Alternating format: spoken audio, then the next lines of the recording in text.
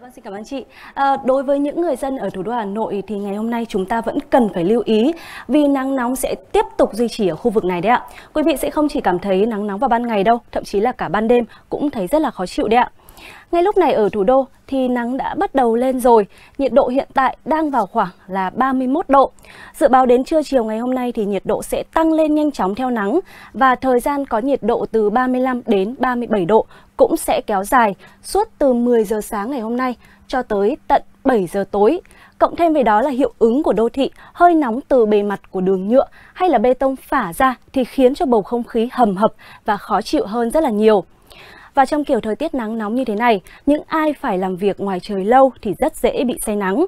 Vì vậy, khi quý vị thấy cơ thể đổ nhiều mồ hôi hay là có những cái dấu hiệu say nắng, say nóng mệt mỏi thì tốt nhất là chúng ta nên tìm những cái nơi thoáng mát để có thể nghỉ ngơi, cởi bớt quần áo và uống một cốc nước mát pha muối. Thêm vào đó thì chúng ta cũng nên theo dõi sức khỏe trong vòng 24 giờ để khi thấy cơ thể khỏe lại, tỉnh táo trở lại thì cũng không nên tiếp tục ra ngoài trời nắng gắt vì khi mà bị say nắng trở lại thì sẽ nguy hiểm hơn. Và vừa rồi cũng là những thông tin dự báo thời tiết đáng chú ý tại thủ đô Hà Nội trong ngày hôm nay. Còn bây giờ thì mời quý vị cùng đến với phần dự báo cho một số khu vực khác trên cả nước.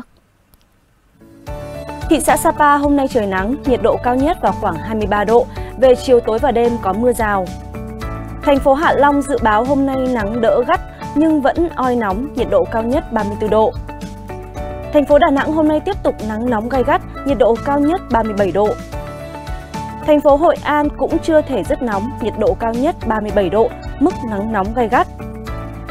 Thành phố Đà Lạt từ sáng đến đầu giờ chiều trời nắng, nhiệt độ cao nhất 25 độ, về chiều tối có mưa rào kèm rông gió. Thành phố Hồ Chí Minh cũng có nắng vào buổi trưa, nhiệt độ 33 độ. Từ 14 giờ chuyển mưa rông mạnh có thể gây ngập úng cục bộ kèm gió giật. Thành phố Cà Mau khả năng cũng có mưa rông trong chiều nay, buổi trưa trời nắng, nhiệt độ cao nhất 32 độ.